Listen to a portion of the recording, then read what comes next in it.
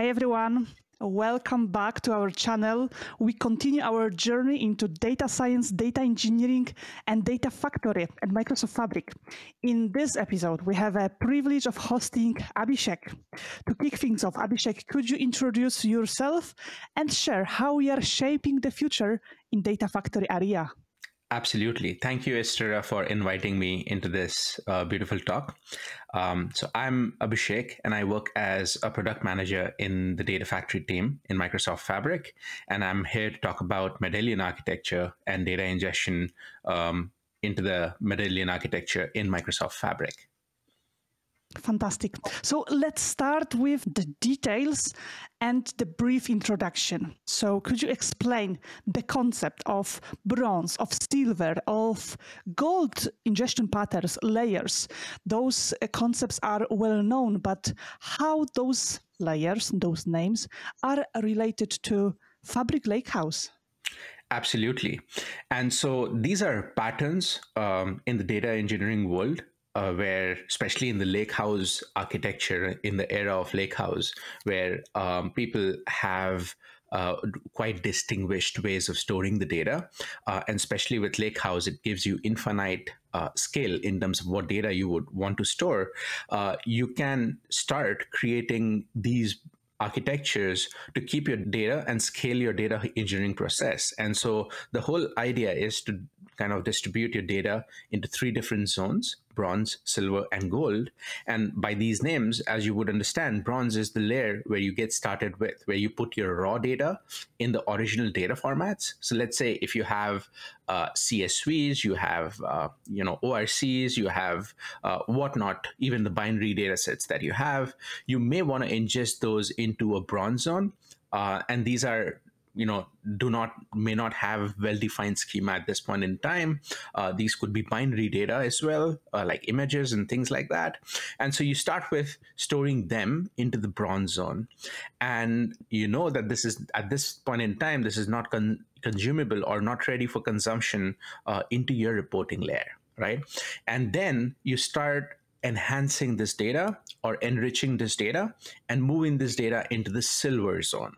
Um, this could be done via various tools that we have in Microsoft Fabric. Uh, you have pipelines to operationalize and ingest data, which we'll see in this talk. And then you have notebooks where you can write code in Spark SQL. And then you can transform or enrich that data. You can also do ingestion via notebooks. And then once the data is ready, which is cleansed, which is standardized, where you have well defined structure to it, this is where you store it in the silver zone. And then comes the final thing, which is the uh, the gold zone. Many customers use silver zone, but then the gold zone is where it is the final curated data that you have. Think of it as if you're joining data, if you're doing things like uh, joining data across multiple, uh, you know, tables, dimensions, and facts, and then you're kind of getting into a final state of the data, which is ready for consumption via reports or even by data science team for their ML learning model and so on. And so that is where you have this concept of a gold or a curated zone. Now, when you're implementing this, think of it as you can use different lake houses in fabric. You can create absolutely different lake house by the name of bronze silver gold. Many customers can you know they, they can end up using the same lake house as well uh, within you know different zones. So it's it's a pattern uh, and so we do suggest using you know you can use absolutely three different lake house for these three different zones. So abhishek just to recap it's a design pattern the medallion architecture is named because those are the colors of medals mm-hmm. and some customers can use different lakehouse or the same lakehouse i would like to follow up on the question can I use or should I use different workspaces? Absolutely. So that's a great question.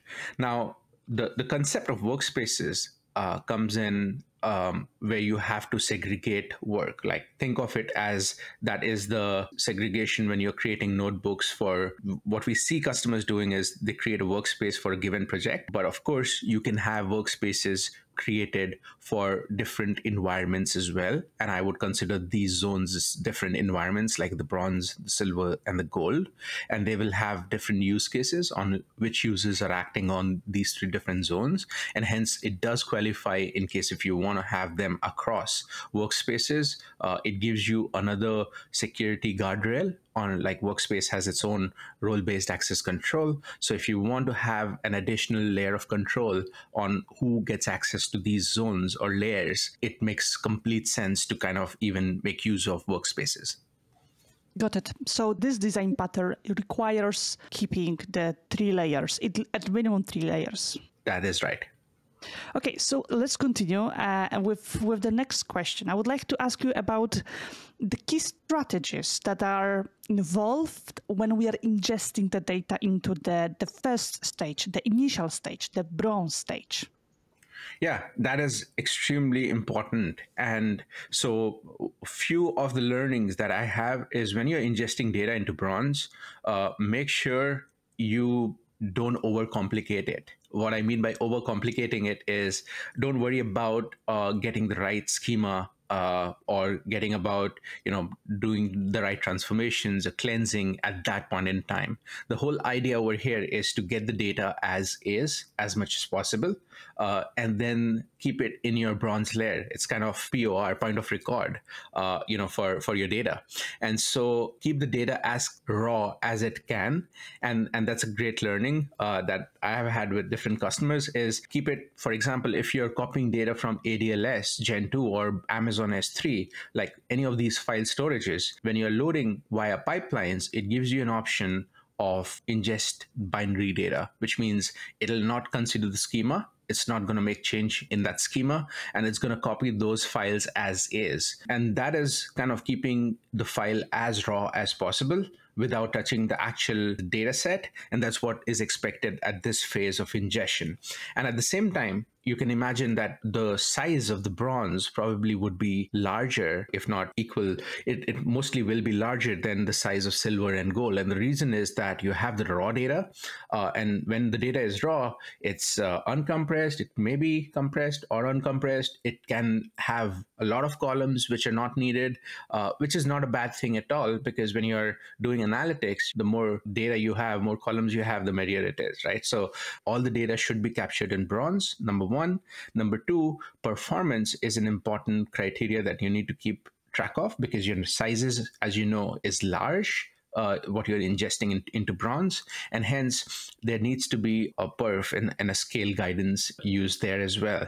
And so we'll talk about that during this session later on, of course. But um, performance is the key criteria over here uh, while ingesting it. Uh, keeping the data raw, these are kind of two things which I would keep in top of my head.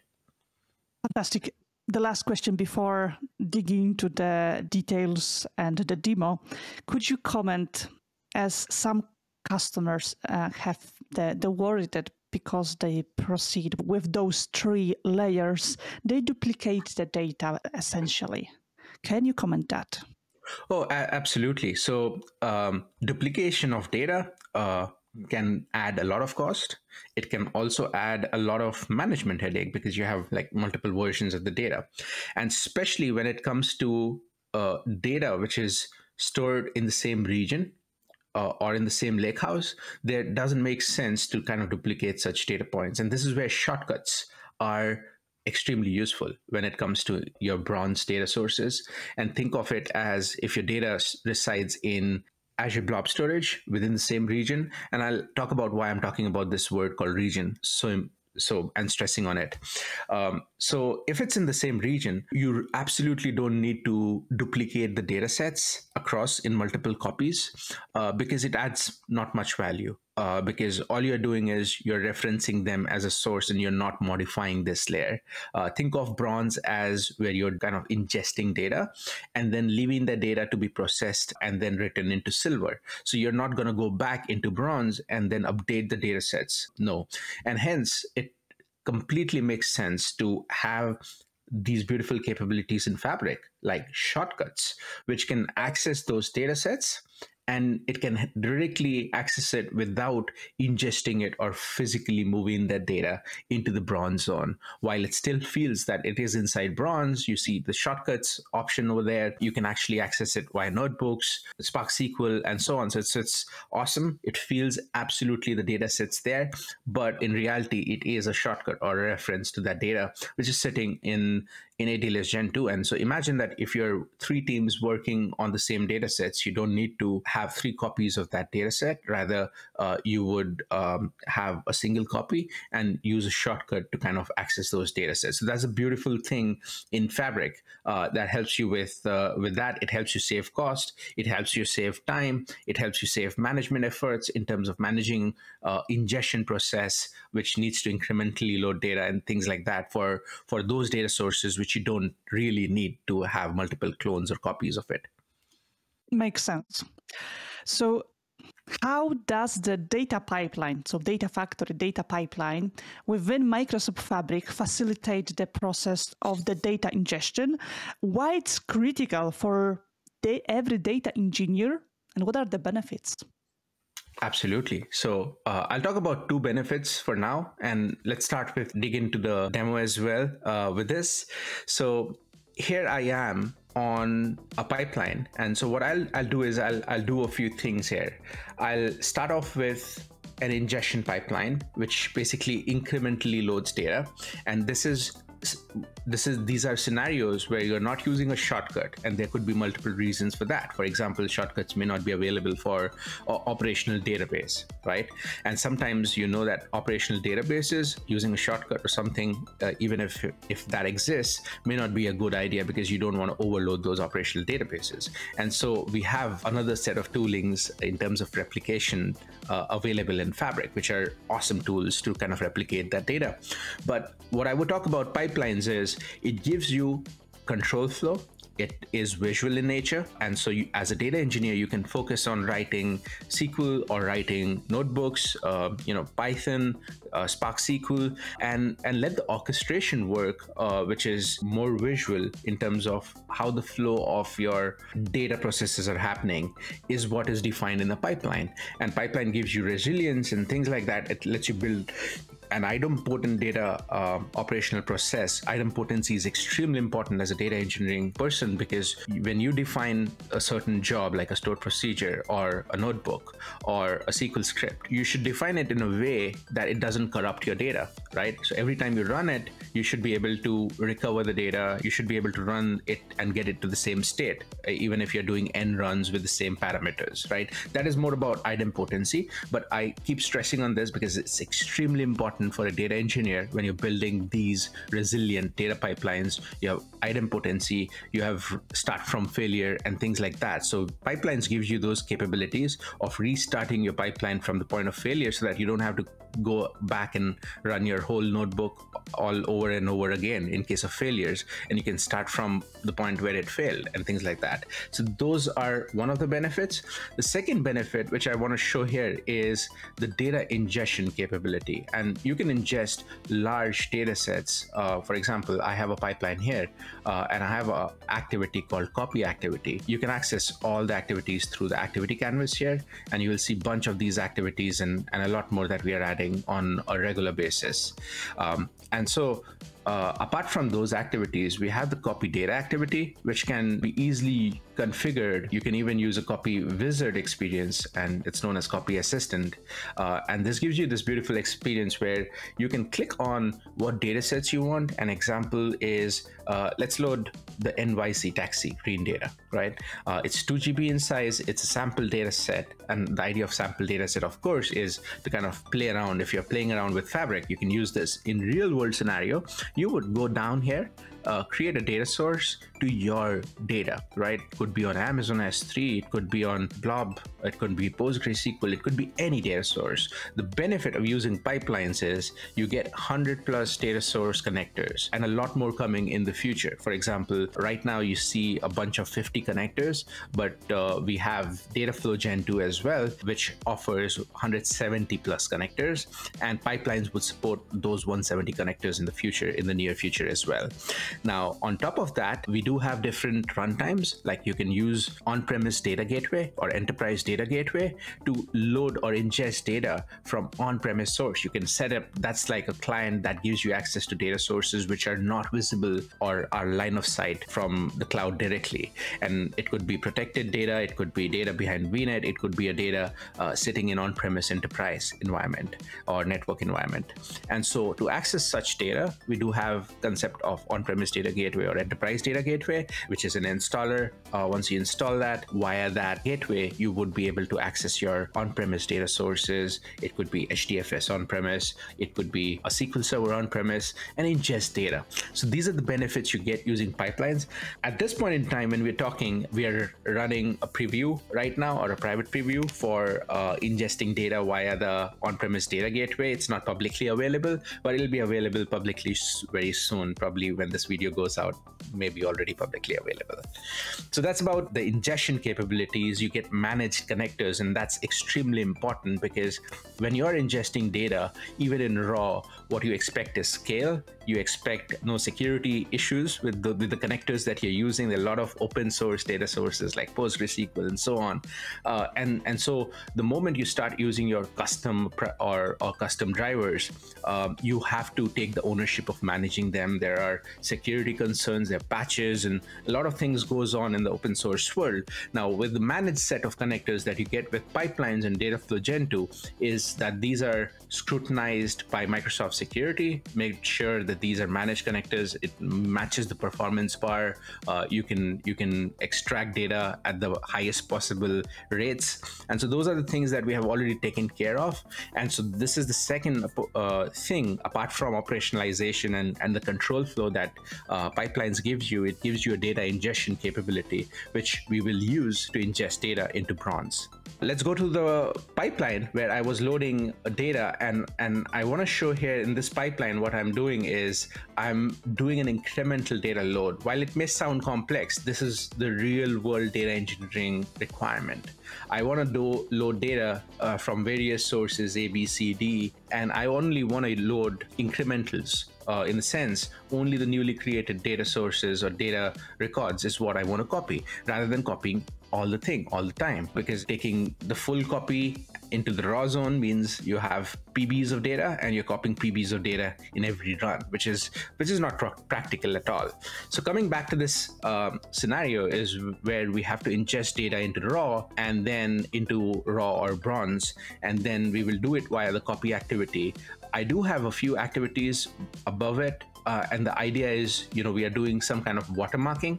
Uh, watermarking is again a data engineering concept where you're using one of the columns that is available in your data source. Uh, let's talk about operational DB, where I have list of employees and I have a column called date timestamp or a unique ID. It could be an ID column itself, identity column. And so I'm going to use that ID column and then be able to extract the diffs. And based on that diffs i'm going to insert that into the bronze. Uh, and i'll do some data engineering work over there. So this is where i start with a lookup. And this is the idea is to retrieve the last high watermark value stored in external control table. And so here we are using a control table. And the control table actually it's not external. It's a data warehouse table that i'm using. So if you look into the settings uh, it is a Contoso DW table. And i can absolutely open that one and show you what that control control value it currently stores. So this is my EMP table and this is my watermark table. This is what I'm referring to. And right now it has a watermark value of 20. So think of watermark as what is the last record that you have copied. And in this case, it's the ID with value equal to 20 right and so let's do now uh, some fun thing uh, let's see how this pipeline works and how it makes sure that it doesn't copy everything that this particular data source has and for that i'll have to pull up this um, uh, data studio because this data lives in the Azure world. Uh, so I will do some insertion into this database. So I'll insert two records here, which is uh, you can see E3 uh, let's change this name to uh, maybe Estera and Abhishek. We will insert these two employees here. And then what I would do is uh, run this quickly. And now what it does is it affects two records, which means it inserted two values. So if my last run was 20, this would now create a watermark or ID column as 22. Uh, that's expected. And so now when I get back to my pipeline and I'm gonna give it a quick run, and it takes only a few seconds and then i'll explain you what the stored procedure and this uh, you know teams activity does and I have an option of overriding these parameters. This is also a very good fundamental that data engineers should follow is how to parameterize your notebooks, your pipelines, so that you can make it more and more generic. Think of it as creating more as libraries, which can be instantiated to any data sources that you want. And that is one critical part of data engineering process. So here I have created, just as an example, my table names, my watermark column, my destination container where I want to store this data into my raw or bronze zone and then uh, what is the table name and the control table column name that I'm using which means if I want to reinstantiate this pipeline for a new table, let's say sales table, right? It just takes me this screen and I can just update the value of the table name over here as sales. I can update the watermark column. It could be date timestamp, right? Like sales date or something, right? And then similarly, I can change the destination folder to sales, right? And this way, I can have a very generic pipeline which does this work all the time across all tables. And I can even build a metadata driven pipeline out of it. Even fun is I can create all the list of tables in my metadata table in, in a database and then use a lookup to fetch that and then start this whole set of pipelines, dynamic pipelines. So I can have like, you know, instantiate 100 such table ingestion processes into bronze using a single pipeline by making parameter like an array or which I can use a lookup activity to extract that metadata from an Excel sheet or CSV or you know from a table uh, anywhere, right? Uh, whichever works. So this is the beauty of using pipelines and making it more and more generic, and you can start you know adding more specifics into another set of pipelines and then stitch it all together via invoke pipeline. So that's a typical thing. So I'm going to use the defaults here, click on OK, and it's going to take a few seconds before it gets the pipeline to a run state. And then you will be able to observe each of these executions in real time. And you can see the pipeline status is in progress. And I'm going to take a few more seconds before my lookups are done. And I can see the output of these lookups. You can see the new watermark value that it extracted was 22. As I said, because we inserted two more records, the previous lookup value, if you see, was 20 because we inserted two records. So it became 22 now. Now, the fun part is let's go through and see what the copy does now. Um, it's only two records, so it shouldn't take much more time. And so uh, it should be done by now. And so if I click on it, you can see that it actually read two rows and wrote two rows, uh, which is good. Uh, and it finished all the other processes as well, which is perfect. Uh, and it then updated the watermark because we need to update the watermark because I showed you earlier here, our watermark value was 20. And if I just refresh this value, I think this should be 22 now because we used a stored procedure. Let's hit the refresh button here and it's 22 so we were able to ingest and then insert it back here now let's quickly check on the data that we injected here um, and uh, what I want to show you here is the actual um, destination that we set here. It was a lake house, bronze, and you would see a lot of parameters being used, expressions being used. Uh, it may sound complex, but it is not, and I'll explain you in a bit. Uh, this is basically an expression language that the pipeline uses, and what it's doing is it's concatenating and it's creating a dataset path where we'll store this data. And to keep it more generic, we would want to use parameters and expressions. And so this is what it does. It's it says that it's it's using the data set data destination container. Remember, it gave me five options to enter when I was running the pipeline. It is using one of those parameters, which is your destination container name. This is how you can customize whether it should be EMP or it should be a diff for a different table, it might be a different folder that you want to in insert data into.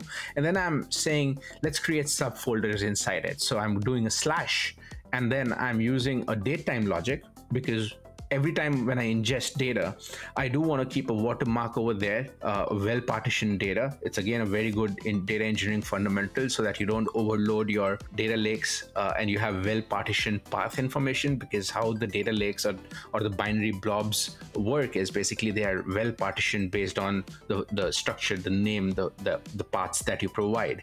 And so what we are doing is I'm creating a function called, I mean, it's a function available in pipelines, UTC now, and I'm formatting that UTC now to look something like year, year, year, year, slash month, month, slash DD. And these slashes will transform into folders inside my lakehouse. And I'll show you how, how it, it actually looks in a second. And then I'm also appending a pipeline run ID, which is specific to this specific run of a pipeline. As I said, idempotency is important.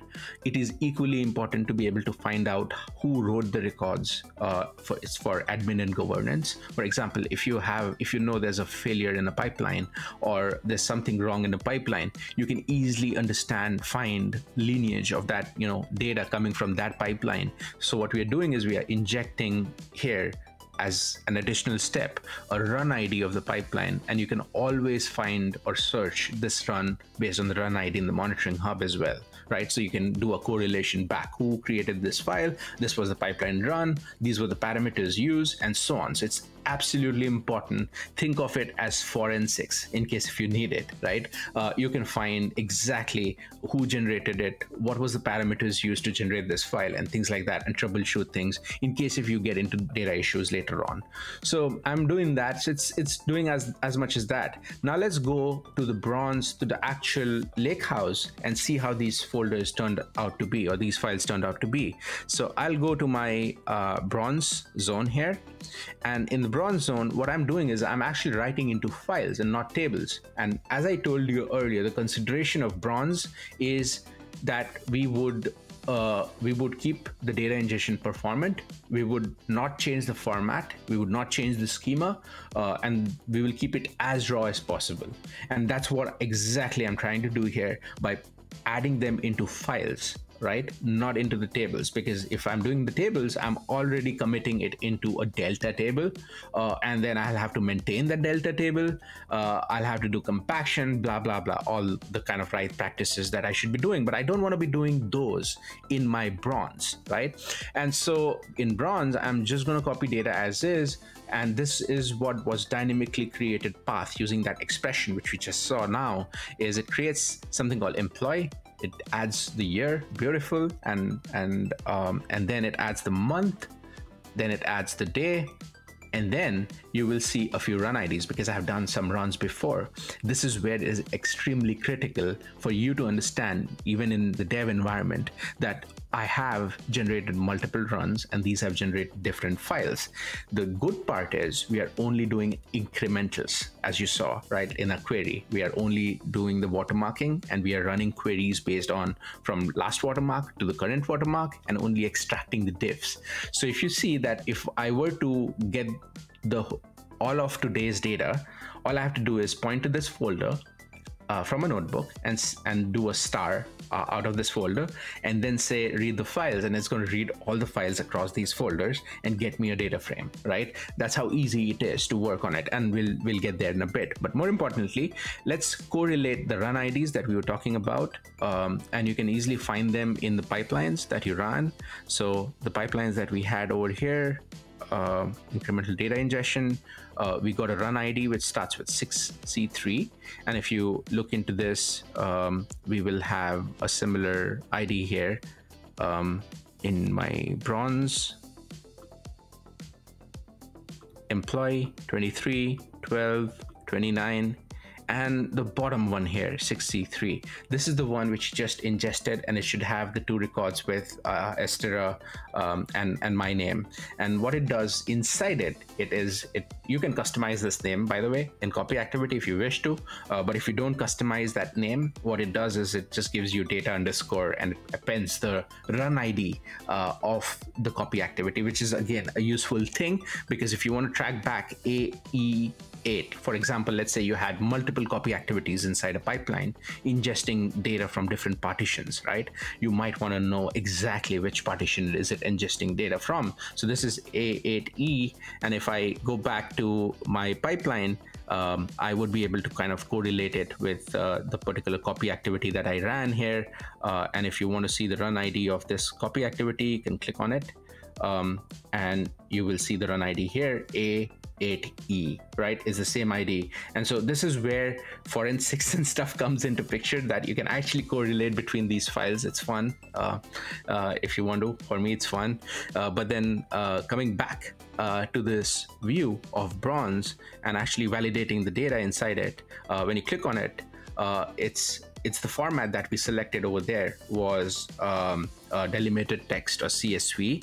And so it shows up in CSV format and you would see the same names that we injected uh, right in the first phase um, in through through our tool uh, and we can see exact those data ingestion so this is how you do dynamic data ingestion why i keep word using the word dynamic is there are a lot of parameters being used in this pipeline it fetched watermark values and so it's dynamic in nature because it's only ingesting only the new records, right? Uh, it makes it dynamic. The second thing is the table names, the folder paths in bronze, everything is parameterized from the pipeline, right? Which means tomorrow or in five minutes, I can move this ingestion from this table to another table in my database or uh, another folder in my ADLS Gen 2 and, and stuff like that.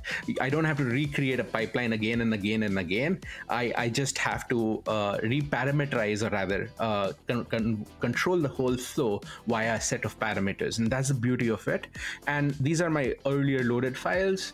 And that's a quick demo of how you would ingest data we haven't talked about scale yet, which I will talk about scale, but this is how you start ingesting data into your Lakehouse bronze as is, as much as without transforming the data. The beauty you get is since you're not getting into schema conversions and things like that, you can extend this whole process across hundreds of tables uh, and you can load data from hundreds of tables. That was truly phenomenal. Abhishek, thank you so much sharing uh, my huge impression as that is what we are going to talk about during the next episodes. How to build ETL ops meaning that how to operationalize everything what we are doing within Microsoft Fabric. So could you please comment the case that we have uh, varying data types? We have a varying changing data volumes. And by having the pipelines how we can be sure that the efficiency and reliability is there? Absolutely. That's a great question. So uh, I'll switch quickly to another pipeline that I have.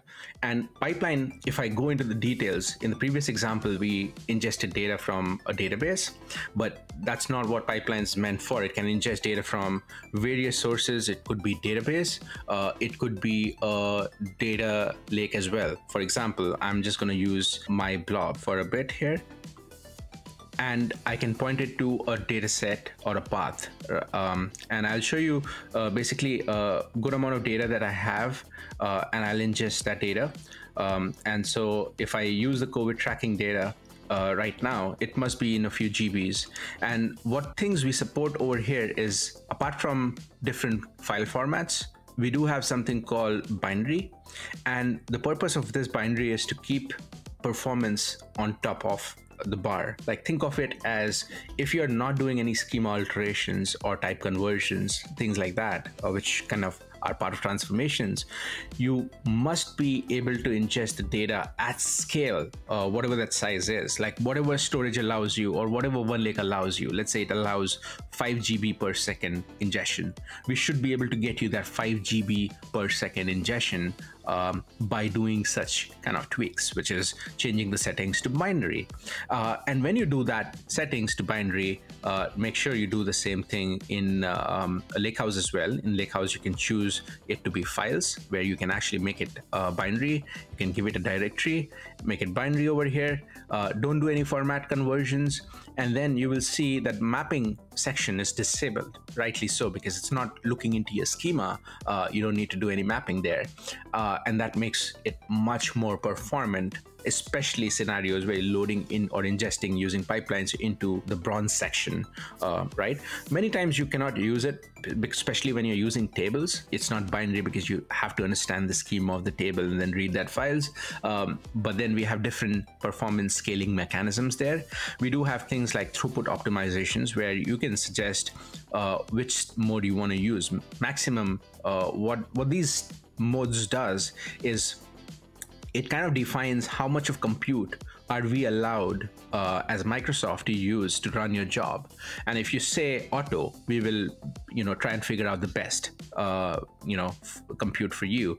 But if you say standard balanced to maximum, uh, you are specifying yourself what level of compute you want. And in, in the ADF world, we used to term this as data integration units, DIUs. Um, uh, but now we have kind of simplified this in three modes standard balanced and, and maximum. And so standard gives you the minimum number of nodes. It gives you more cost efficiency and uh, balanced maintains balance between cost and performance. And maximum gives you the best performance like imagine you have to hit 5 GB per second. You know, in the backend, we may even have 256 nodes running to kind of ingest your data across your ADLS Gen 2 account into Lakehouse or S3 account into Lakehouse. And that's what's going to give us that capability of ingesting data with 5 GB per second or more uh, bandwidth uh, using a single copy job is when you choose this maximum, right? If you want to be cost conscious, um, and take the decision up front, you can make it up uh, standard, right? For example, you know that your records are not going to be more than 100 or 1000 uh, in a single run. Uh, you can absolutely choose standard, or you can use auto because our auto will never like push the limits when the data is not available. So the logic that we use here, and that's why we call it intelligent throughput optimization, is because we start running the job on a single node first, and then we analyze the metadata based on the size of your source data set. We then scale the nodes to, you know, 10, 100, 200, whatever the need is. And so this scale is very dynamic and you're not paying upfront for any of these, right? So if you choose auto, uh, we will never end up charging you for 10 nodes, 20 nodes, or vCores, uh, you know, unless your data actually permits us to do so. So that's why we call it intelligent, and that helps you with your cost as well. Now, there are a few other things. Uh, degree of parallelism. Think of this value as within a single node, how many parallel processes that we will run right to lo load your data and this is extremely useful when you're doing like performance tuning and you're seeing that you're using the throughput as max, yet you're getting only 1 GB per second performance or 2 GB per second performance. How can I further raise it?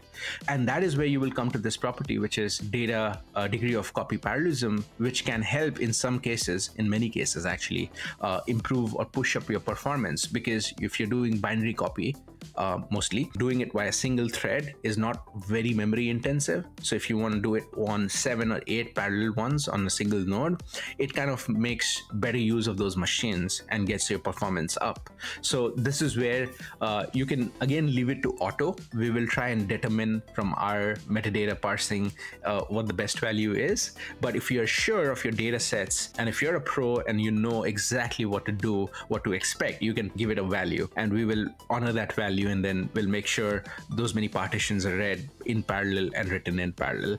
And so that's what these two properties are extremely important for performance tuning. And these two properties are also valid for some of the data sources like uh, databases as well which supports partitioning. And then we have a few other properties which are again very useful especially when you're moving large data sets is consistency verifications. These are values Estera we were talking about what are the values or what is the benefits of using pipelines right? So when you're ingesting data even binary so you can actually mark this checkbox as consistency verification, right? And you can specify fault tolerance settings.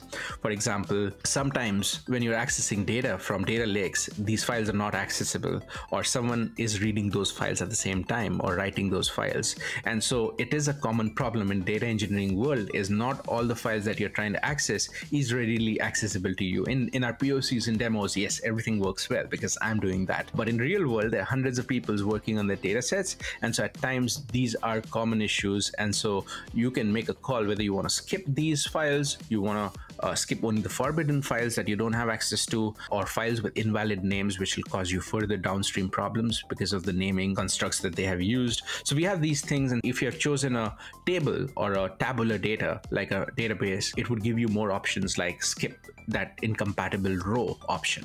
And so it's very, very useful where if you find some row which is compatible with that data source, let's say PostgreSQL, but it's not compatible with Lakehouse tables, right? And so you want to capture those files and not lose them, right? So you we give you an option of in such cases is log those incompatible files into a different file itself. So this gives you again an audit trail of those records which were faulty or which were not compatible with your destination, and hence you don't lose them, but you keep a log of those records uh, in some other place. So you get all those beautiful fault tolerance features in pipelines, which many people don't know of. So I just want to talk about them. This settings thing is does a lot lot of hard work in terms of doing those. You can set up a different logging account as well, you know, where you would want to store these skipped files or skipped rows and things like that. And then you have staging option for performance. Sometimes, you know, performance can be improved via staging. And the reason is that the compute that you're using, imagine that when pipelines are using on-premise data gateway, which is running on a single node, you may not be in a best place to be able to write Parquet files directly, right? Uh, if especially when you're not doing a binary copy when you're writing a Parquet files. It's because it can be memory intensive and it's a shared compute, and so it's going to die if you if you overload it. And so that is the cases where you would want to use this staging button on and what it does is it's going to copy data as fast as it can from that compute into a staging environment as binary and from there it's going to use the cloud compute or the cloud runtime to kind of do a partitioned load into your lakehouse and that'll be much more performant. So these are some of the performance and reliability options that I wanted to quickly run through. That's huge as majority of those options are unknown as it's the last tab. Can you comment just a little about what is the compute under it? Absolutely. Uh, and and that is the magic thing, right? So number one thing which I want to call out is it is truly serverless for customers. Uh, the compute, right? In terms of billing, in terms of experience, it is. There's nothing that customers have to provision here. Uh, you don't see any provisioning options. There's no latency. You saw how quickly the copy activity finished. It took 16 seconds, though it copied only two records. So I would argue that 16 seconds is too much for two records. But what we need to understand under the hood happening is it probably took 15.5 seconds in terms of getting the runtime, the compute ready. And then uh, it took you know 0.5 seconds or less uh, to kind of actually record uh, those rows and then report it back to the uh, reporting system so that it can show you in monitoring. So I think the the cool part here is while we say it's serverless, uh, yes, we are making it serverless. We are having huge dedicated pools of compute running for customers. These are all the runtimes that we use. We don't disclose what runtime we use, and and the reason for that is we want to keep it agnostic and transparent to customers so that it doesn't break your flows or pipelines uh, with, with, versioning, for example, right? Like we don't want to break your pipelines because we are shipping a new version of a connector or a new version of a runtime. And that's why we don't expose the details of the runtime. So that's why it is truly SaaSified already because you don't have to worry about the runtime. It is a lot of work on our engineering teams to make sure there's compatibility with 170 connectors. Uh, we don't break customers anytime. While we are doing security fixes, performance fixes all the time, all the time, all the day in the week, yet there is no promise of breaking these for customers. And hence, this is completely serverless because one of the requirements for serverless is it shouldn't be something that customers provisioning. It should be available all the time. It should bill only for the execution duration. And these are all the things which is being followed here. And to get to more details, we do give you other ad additional options like bringing your own connectors via ODBC. And you may have guessed now the runtime is .NET based because ODBC drivers uh, works with with .NET. And so you can extend to your data sources, which are beyond these 170 sources using your own ODBC connectors as well. And uh, yes, it's .NET based runtimes, but it runs on distributed compute. So we have a distributed compute and it's all dedicated for customers. It's very well isolated per run, per customer uh, run actually. And so you get all the security features, yet it's serverless, and you only pay for the durations of the job. So if you run for five seconds, you pay for five seconds. It's true SaaS. I love it and have to you know kind of a shoot into my leg as that's the difference when we are running some notebooks um, in the spark runtime. Spark is bringing new versions every six months and we have to migrate. We as a user we as a customers we have to migrate. We have to change adjust our notebooks our code. And with this approach it's a true SaaS. i truly love it. Absolutely. So, do it once and forget it. Exactly, exactly. So let's wrap up that episode today and we'll continue the discussion about making our ETL repetitive. So we'll talk about operationalization of ETLs during the next episodes. Thank you for today. Uh, thank you for watching us. If you like this episode, for sure, I love it. Please leave the like button subscribe, leave a comment, leave the suggestion, and until next time, please discover medallion architecture, the, the bronze, the silver, the gold layer, everything without Microsoft Fabric, touching Data Factory, touching Lakehouse, so you can get the true design pattern implemented there. Thank you so much.